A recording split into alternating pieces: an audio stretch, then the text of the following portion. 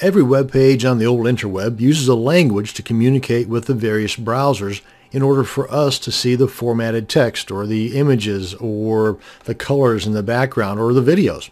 This language is called HTML. HTML5 is the most recent version of HTML, but when speaking about HTML, you rarely hear the term HTML5. Uh, like, for example, you would hear, it's baseball season, but not, it's baseball season 2014. It's kind of implied that it's the most recent version baseball season, and HTML. The HTML language has certain rules for communicating called syntax. This syntax is the code that contains the brackets and words that the browsers interpret into the goodies that we see when we click onto a website. In this video, we're going to create a basic web page using this syntax to demonstrate the use of tags and how they help us make a basic web page. Now there are a few must-haves in order for a browser to decipher the HTML code or syntax and present it to us the way that we are used to seeing a web page, you know, like the text and the images and all the formatting stuff in place. Now actually, there are what I call the Fab 5 must-haves. Okay, I'm not really sure just how fabulous these are, but I couldn't think of anything else that made it easy to remember. First, we have the declaration. This is what tells the browsers, hey, this is a version of HTML and not just some text document. Then we have the tags, the HTML, the head, the title, and the body. In most cases, tags will come in pairs, an opening tag and a closing tag. But like most languages, there's always some exception to that rule. Uh, more on that here in just a bit. So let's go ahead and roll up our sleeves and make us a web page. Now we're going to need a couple of items to create our web page. A simple text editor to create the page, and I'm going to be using Notepad, and a browser to read it or show it to us. Now first we need to organize, make a work folder that will house all of our files, images, videos, and anything else that we're going to be using in our web page or web pages. Now don't worry about getting everything in there right now, but at least make the folder right now so as we find or make stuff, we'll have a place to put it. Okay, so let me go ahead and open up my folder here. I've already taken the liberty of creating a working folder on my desktop and inside of that working folder I've got another folder titled images and another one titled backup. These are basically just for demo purposes but I just kind of give you an idea, get your creative juices flowing. So at this point I'm going to go ahead and open up my notepad, new and text document and I'm just going to go ahead and give it a title right now. Now actually that's not a title, this is just a file name. I'll cover that here in just a sec. The thing is though is that this ends with .txt. Web browsers aren't going to recognize that as a web page. So let's go ahead and open this up. Now let's go ahead and make this a web page, technically speaking. You can see right here it's .txt. We need to save this as an HTML or HTM file. So go to File, go to Save As, and with Notepad, you want to first come on down here to Save As Type and make that all files. And then change that .txt to .htm or HTML. I'm going to go with the L part. They're both exactly the same. The browsers read them the same way. Just I think HTML has been around a little bit longer than HTM, so I'm going with that. Personal preference. Okay, there we are. Now then if we go back to our folder here, we can see that we've got both files are, are blank, but we've got the HTML and the .txt. Frankly, we don't need that anymore, but yeah, we'll keep it here anyway. So let's go ahead and right click and open this guy. Actually, I've still got them open here, I believe. Yep, right there we are.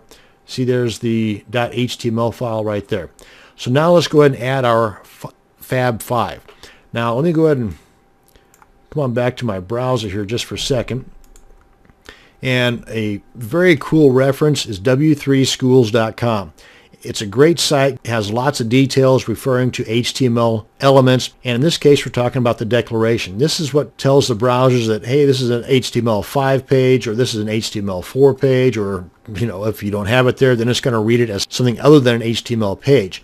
So I want this to be an HTML5 page which again is the most recent version of HTML. So if you check out the source code on a lot of the web pages right now, they're going to have this information right here versus this one here. You're just, they still show up okay in your browsers, right? It's just that they do not have the advanced capabilities that the HTML5 pages do. For example, if we come on back here, this is an actual web page. If we right click and go to view page source. And you can see right here where we've got the declaration defining this page as an HTML5 page, just like what we show here.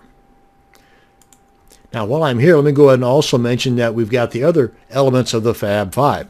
That is the HTML tag. And by the way, for every opening tag, we've got a closing tag.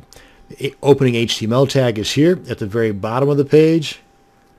We've got the closing HTML tag.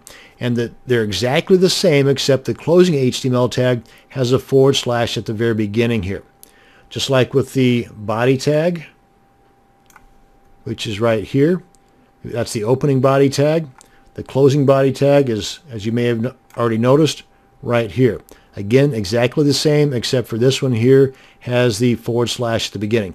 Now, I say exactly the same.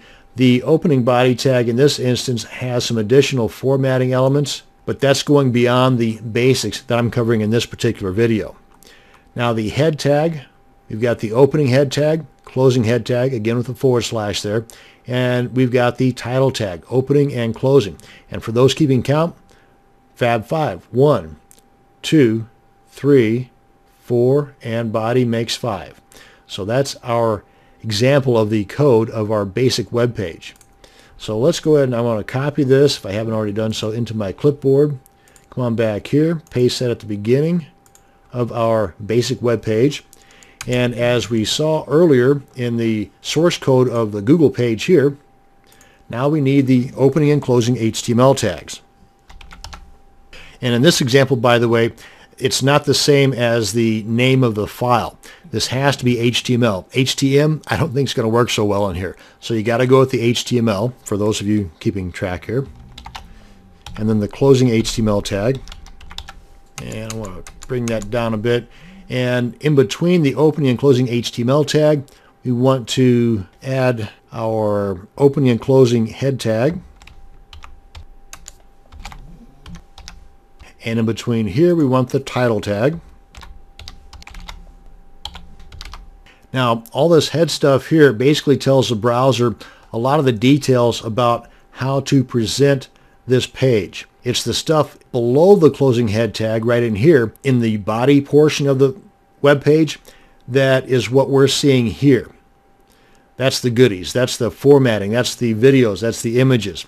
All this stuff above the closing head tag, this is all the coding that tells the browser how to treat things. Still, it's important. Now we need the body tag. Opening. And we'll bring this down a little bit here and closing body tag. Now this is our skeleton of our site. Now in here is where we put the content.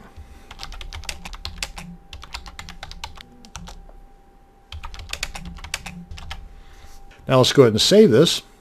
File, save, and let's open this up in our browser. And come on back to my folder here. And just bring this out a little bit. Let me just drag this guy into the browser. And there it is. Now, this is technically a web page because it's got all the elements of our Fab 5. Let me get this guy away from here and open this up. It's got the declaration and it's got the basic tags required for a web page. What it does not have is the formatting. As you can see here, I do not have any formatting to tell the browser, hey, this is actually on a second line because the browser sees this all on one line. So let's go ahead and throw in some formatting here.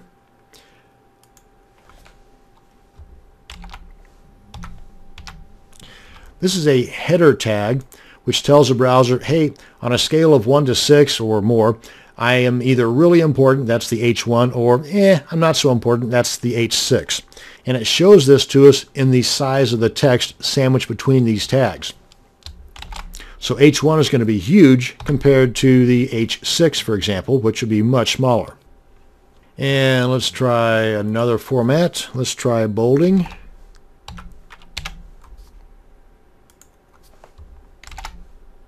And let's tell the browser, hey, this is actually the end of this line. Everything after this goes on a different line. And this can be done a couple of ways. You can put this in a paragraph, that's the opening and closing P, or a break. For example, let me do the opening and closing P. This would be the closing P. And at the very beginning here, opening P. So let's go ahead and save this. Come on back to our browser here and refresh.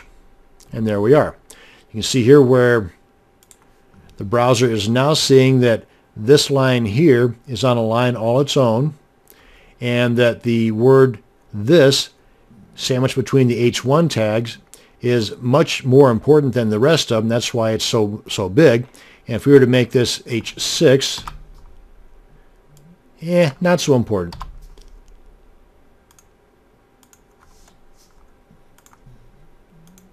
You see it's not as important as the rest of this. That's why it's so much smaller. So let me put that back to H1 so you can see what this is.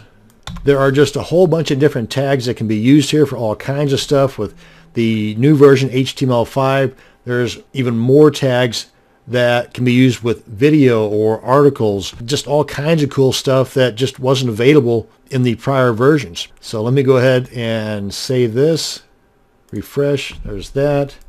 And to close things out here, I want to demonstrate an example of a tag that does not fall into the opening and closing tag category. This is one that is just a normal tag all on its own. It does not have an opening or a closing. It's just by itself. And it's the break tag. BR space forward slash. And this tells the browser that everything after this break tag goes on a different line. Save, refresh, and there. Now you see where a paragraph adds this extra space here, just like a normal paragraph would. The break tag just puts it on a different line. So that's our basic web page. Now for some additional tags, just to kind of get you playing around, back on our w3schools.com website, if you head on over to w3schools.com forward slash tags forward slash default.asp, will give you alphabetically a list of all the current tags. And you'll see there that there are some that are not supported in HTML5 and there are some that just don't work anymore in HTML5 because they were what's called deprecated. That's kind of just tossed in the trash in HTML 4.01. You've got those that say new. So by all means, start playing around with these. Start with your basic web page and go from there. And that's going to bring us to the end of this video on creating a basic HTML page. Thanks for watching and you have a great day.